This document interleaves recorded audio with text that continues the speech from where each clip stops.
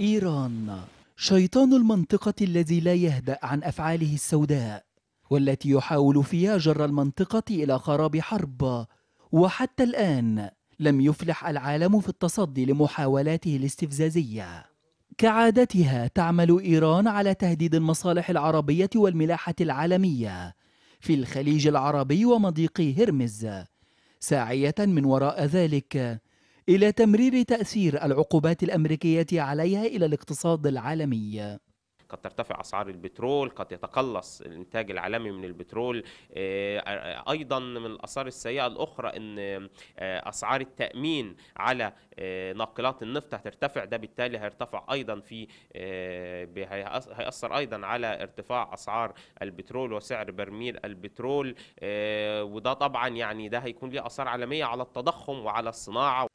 السياسة التي تستخدمها إيران حاليا باستهداف السفن العربية ليست بجديدة على نظامها فقد استخدمته من قبل إبان الحرب العراقية الإيرانية. ومستهدفة من ذلك رفع قيمة التأمين والأسعار العالمية في الطاقة والنقل البحري بالإضافة إلى تهديد الاقتصاد العالمي بمزيد من التباطؤ.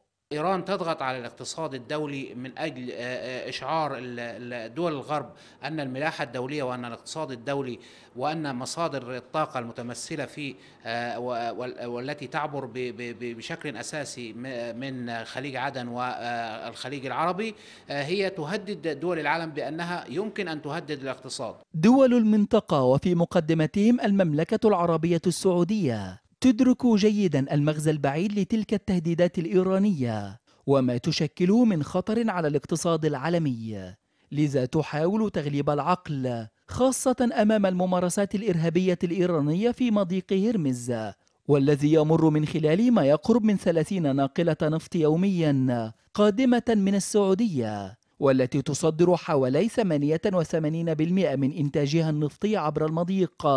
والذي يستوعب حركة النفط بحوالي 40% من تجارة النفط عبر البحار في العالم. لقناة الإخبارية محمد عبد الحكم القاهرة.